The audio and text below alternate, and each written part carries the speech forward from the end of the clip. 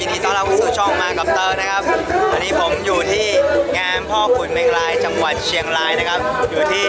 ซุ้มของอำเภอพญาเมงรายนะครับนี่ดูฮะแหมเชียงรายนี่ขึ้นชื่อเรื่องกาแฟจริงฮะพญาเมงรายเลยนะโอ้จัดสวยมากเลยนะ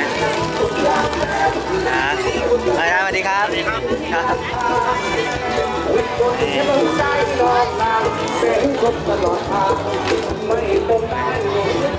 เออพญาเมงรายนะฮะก็มีเวทีอ่